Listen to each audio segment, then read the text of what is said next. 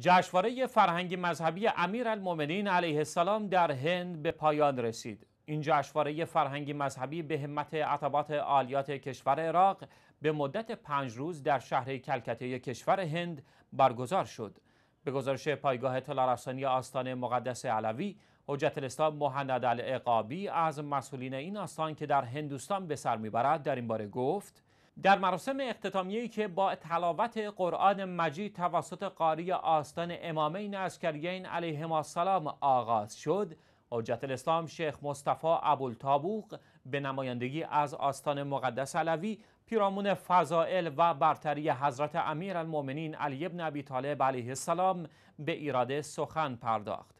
بر اساس این گزارش شیخ ابوالتابوق در سخنان خود همچنین از مسئولین و دستندرکاران این جشنواره و شیعیان کلکته به دلیل حسن برگزاری و پذیرایی خالصانه تشکر کرد و اهمیت نشر فرهنگ اهل بیت در تمام دنیا را مورد تاکید قرار داد.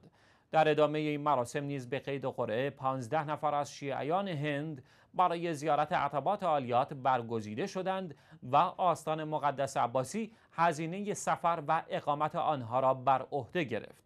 گفتنی است پس از پایان این مراسم هیئت‌های عطبات عالیات به حسینی بیبیانا رو در کلکته رفتند و با شیعیان و دوستداران اهل بیت علیهم السلام در این حسینیه به گفتگو پرداختند.